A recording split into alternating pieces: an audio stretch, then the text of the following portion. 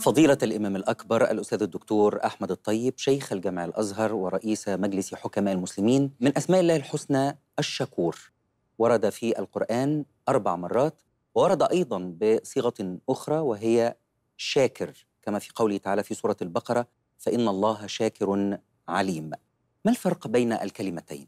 بسم الله الرحمن الرحيم. الحمد لله والصلاة والسلام على سيدنا رسول الله وعلى. آله وصحبه. وبعد. فأعتقد آه، أنه سبق لنا أن قلنا إن صيغة فاعل أو هي صيغة اسم الفاعل آه، ومعنى اسم فاعل يعني فيها مثلا كلمة شاكر أو كلمة آه، غافر. صابر غافر. آه، اسم فاعل بمعنى أن فيها اسم وفيها فعل وهذه الصيغة تقول أن هذا الاسم فعل هذا الفعل. آه. ذات. آه، ذات وفعل. ذات وفعل. آه، يعني آه، ذات فعلت هذا الفعل. ده كل ما تفصح عنه صيغة فاعل وتسمى باسم الفاعل. يعني لا تقدر تقول عليها اسم لوحدها لأن إحنا عندنا اسم وفعل وحرف. آه. لكن في حاجة اسمها اسم فاعل واسم مفعول. اسم الفاعل ده هو يعني ذات فعلت الفعل. آه ف لكن الاثنين في صيغة واحدة. وده غير الفاعل اللي, معلش مش عايز أخلي الحصة على نحو. بالعكس ما فهم اللغة العربية مهم آه فهم مهم المعاني. جدا. طبعا. ودي حاجات بسيطة ممكن تفهم يعني مش معقدة. الهدف هو فهم معاني الوعي. هذا وعيه. لأن هذا الكتاب هو الذي يعني دفع المسلمين دفعا إلى وشجعهم إلى أن ينيروا الغرب في أيام يعني في عهد الظلمات وينيروا الشرق أيضا وفي 80 سنة.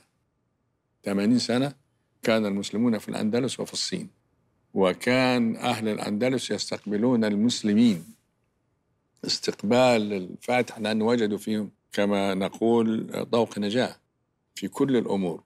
فبعثوا هناك الحضارة وبعثوا كذا وكذا وكذا. والآن إحنا ننظر القرآن للأسف الشديد حتى آه، أبنائنا حتى الناس اللي هم يعني النخب وكذا وكذا. لا ينظرون إلى القرآن النظرة التي يستحقها القرآن ويجب على المسلمين أن ينظروا إليه. آه، هو منهج حياة. ومنهج حياة طبعا آه. منهج حياة. مش مجرد كلمات تحفظ. وشوف وما كما قال الحديث في وصف النبي صلى الله عليه وسلم في وصف وصفه أوصاف كثيرة فمن من ضمن أوصافه من تركه من جبار قصبة. وإحنا اللي عايشين في ده. يعني ولا طبعا في الفم ماء كثير. ولا إنما أنا أعرف سببه إيه. سببه أنك أنت عندك الدواء الذي تستهين به. آه. وهو الدواء الوحيد. في العلة الموجودة الآن. نعود إلى ال إلى ال إلى الفاعل شاكر قلنا شاكر. آه. شاكر تدل على أنه يشكر أو أن الله أسند إليه الشكر.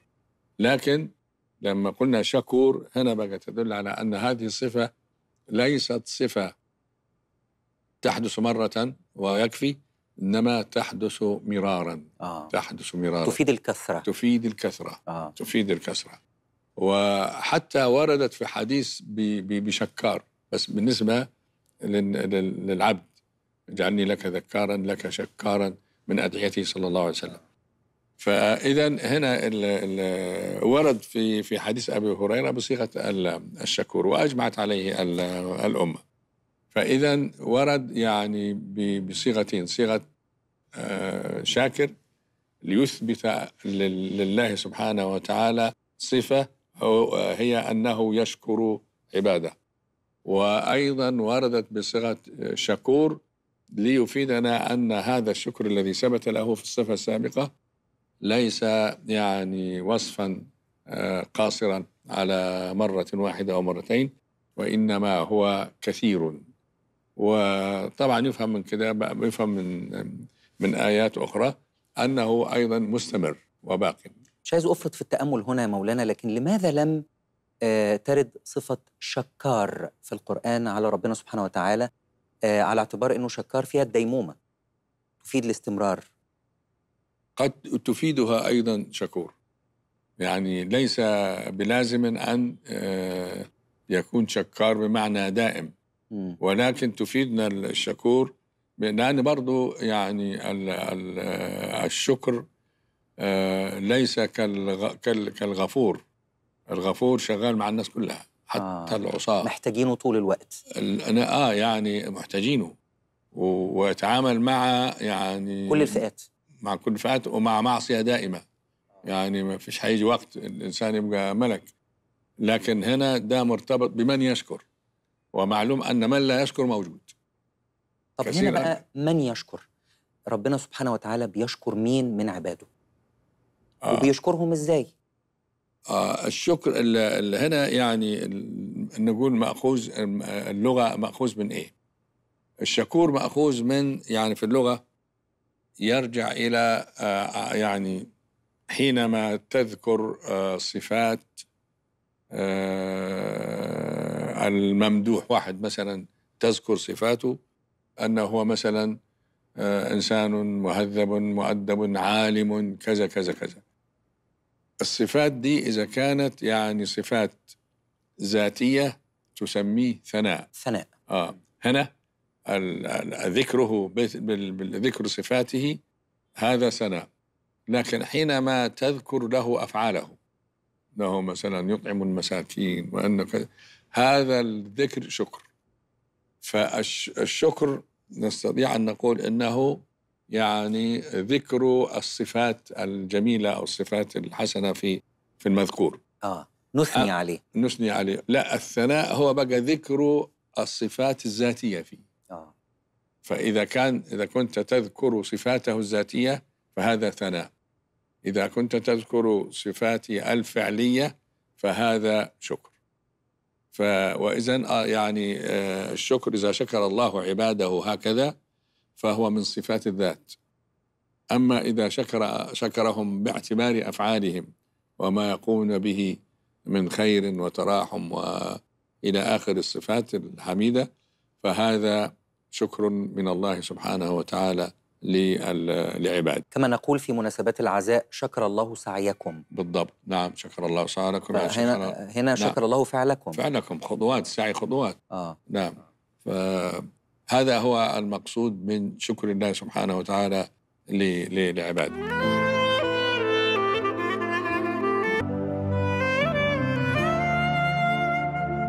كما ذكرنا يا مولانا اسم الله الشكور ورد في القرآن الكريم أربع مرات. في ثلاث منها اقترن باسم الغفور. في الرابعة آه، اقترن آه، بالحليم كما في سورة التغابن والله شكور حليم. ما الحكمة في اقتران اسم الله الشكور بهذين الاسمين الغفور والحليم؟ وحضرتك يعني آه، هناك علم متخصص في تذييل تذييل الآية. آه. يعني م، الآية ختامها. ختامها آه. بس ختامها بما يبرر الأحكام التي صدرت في حتى يسمونها في صدر الآية وعجز الآية فهناك علوم آه، يعني آه، تتحدث عن هذه الآية تتضمن كذا وكذا ثم زيلت بوصف كذا وكذا بما يعزز المعنى آه بما يع... يعني لازم اكتشاف المناسبة مم. بين التذييل وبين ما ذيلت له وهو ما سبقها. ما, ما سبقها. فواضح طبعا شكور حليم أن الشكور يقتضي الحلم. يعني لا يعني لا يكون شكورا إلا إذا كان حليما. حليما. فهذا ما موجود. هناك مثلا برضو آه، أوصاف آه، كثيرة. يعني يظن كثيرون أنها جاءت هكذا يعني اعتباطا أو لا. هناك علم متخصص في اكتشاف التناسق أو التناسب حتى يسمونه مناسبة. ما مناسب؟ ده أيضا ليس مناسبة تذييل الآية بما قبلها بل مناسبة الآية بما قبلها. يعني في علم المناسبات كمان. المناسبات ده هو ربط الآيات. كيف يعني ليه جت الآية دي؟ ما المناسبة أن يأتي أحيانا تتحدث عن مجال معين ثم تجد آية يعني آه، تقديري بك إلى إلى إلى مجال آخر. مم. ثم إلى مجال القرآن كله متكامل. كله متكامل. آه كل ف- آية مبنية على ما قبلها مبنية. بعدها لأن النبي صلى الله عليه وسلم كان يحددها. ضعوا هذه الآية في مكان كذا من سورة كذا. وده توقيفي يعني ده ما- ده ترتيب المصحف. ترتيب المصحف. توقيفي ما- يعني لا يصح لأحد أن ياخذ آية ويحطها مع آية يقول لك لا والله لا وحتى الآن لم نقرأ في في في الذين تفرغوا لكتابات نقد القرآن. من قال أن هذه الآية ليست في موضعها وكان المفروض أن توضع في مكان آخر. هذا لم يحدث ولن يحدث. طبعا لأنه يعني آه، من حكيم عليم. أو برضه حكيم عليم يعني في ف يعني الحل الشكر يقتضي ال- الحلم. الحلم. واضح أنه يعني الذي يشكر ده يعني آه، مش ممكن يكون شكور وفي نفس الوقت غضوب أو نفس الوقت يعني آه، كيف يشكر وهو غضبان. قليل الحلم. قليل الحلم. آه مستحيل. مستحيل ربنا سبحانه وتعالى أيضا آه، أطلق صفة الشكور على بعض العباد. نعم. ففي سورة سبأ قال وقليل من عبادي الشكور. نعم. وأيضا الرسول عليه الصلاة والسلام قال للسيدة عائشة رضي الله عنها أفلا أكون عبدا شكورا؟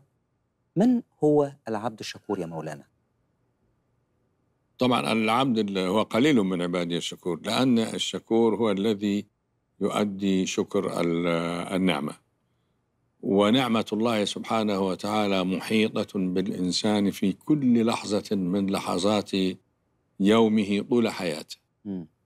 فيعني يصعب جدا من تجده ينتبه ويلتفت إلى هذا المعنى في كل حركاته وسكناته ويشكر الله. قليل من عباده الشكور فهم قليل. لأن الإنسان الإنسان كما قلنا مثلا أنه يأكل ويشرب وينام ويهيأ له أن وجبات الأكل دي يعني آه، من حقه أو شيئا فشيئا. العادة تبطل عنده آه، ملكة التيقظ لمن وضع أمامه هذا أو مهد له هذا الطعام يعتبر النعمة تحصيل حاصل. طبعا كأنه أو من ألبسه ومن إنما ولذلك النبي صلى الله عليه وسلم كان يتبع كل تصرف من هذه التصرفات بالشكر لله والدعاء لله والحمد والثناء على الله سبحانه طوال وتعالى الوقت. طبعا لأنه طبعا يعني كان إذا مثلا لبس يقول الله الحمد لله الذي رزقنيه من غير حول مني ولا قوة. اللهم ألبسني من ثياب الجنة. ثم كان ده الشكر اللفظي. ثم يعمد إلى ثوبه الخلق القديم فيتصدق به. نظامه كده. فده الشكر العملي. قليل اللي هو طبعا آه، على هذا النمط في هذه الآية. لكن الناس يشكرون طبعا حين آه، تأتيهم نعمة كبيرة تلفت أنظارهم. أو حينما مثلا يقعون في ضائقة ثم تفرج عنهم هذه الضائقة. فإذا ليس ال- ال- العبد شكور بال- بالمعنى ال- آه يعني هو قليل من عباد وده, وده ده واضح ومعروف يعني. حتى معظم المؤمنين كلهم يعني تقريبا ما عدا يعني الناس اللي هم متيقظين لل- للحضور الإلهي معهم. في كل آه، حركاتهم وسكناتهم. فضيلة الإمام الأكبر الأستاذ الدكتور أحمد الطيب شيخ الأزهر الشريف ورئيس مجلس حكماء المسلمين سنواصل الحديث عن اسم الله الشكور في الحلقة المقبلة بإذن الله.